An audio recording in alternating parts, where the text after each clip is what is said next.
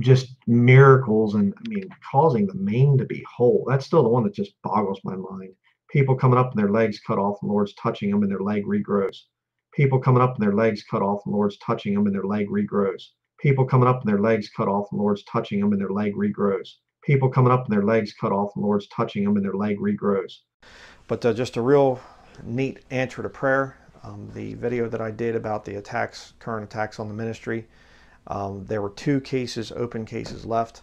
Of the guy, I, you know, showed his information. Things just, you know, showed his information. Things just, you know, showed his information. Things just, you know, showed his information. Things just, you know, showed his information, things just to, to show people how these infiltrators work and everything else.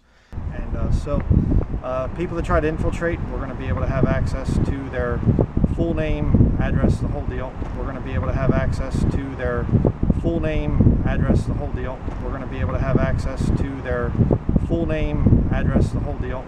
Uh, unlike dealing with liberals that don't protect while leaving Christians like, you know, myself and you if you're a friend of the ministry.